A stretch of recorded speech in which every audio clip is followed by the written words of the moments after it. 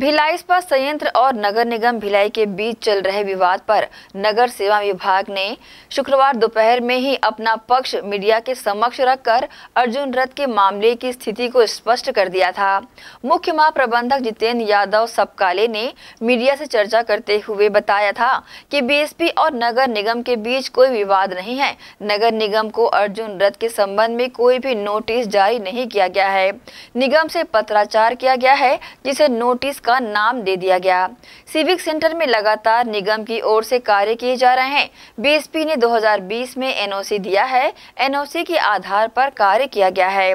अर्जुन रथ के सौंदर्यकरण के लिए भी एनओसी दिया गया है। ये रथ तो बीएसपी ने बनाया है।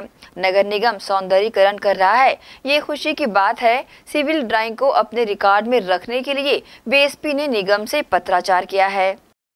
जहाँ जहाँ नगर को ज़रूरत पड़ता है, वहाँ बी एस पी एन देती है। और सिविक सेंटर में भी जैसे एक हमारा जो अर्जुन रथ का जो केस है, उसमें भी ऑलरेडी बीएसपी ने एनओसी दे चुके हैं। 2020 में एनओसी दी गई थी और उसके बाद में ही काम भी चालू हुआ। अर्थात ये तो बीएसपी की रथ बनाया हुआ है, पहले से आप लोग सब जानते भी होंगे।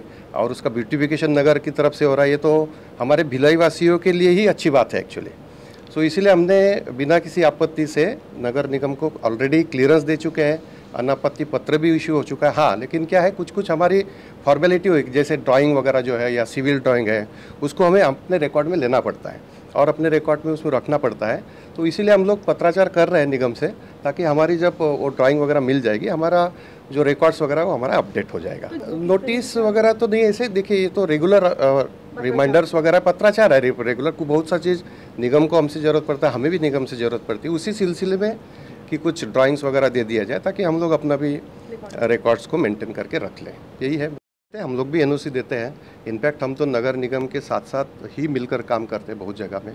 हमें उनकी ज़रूरत पड़ती है तो साथ में ही हम उनको हमें, हमारी ज़रूरत पड़ती है तो साथ में ही मिलकर ही काम कर रहे हैं। ऐसा कुछ मतलब ये नहीं निगम के साथ में।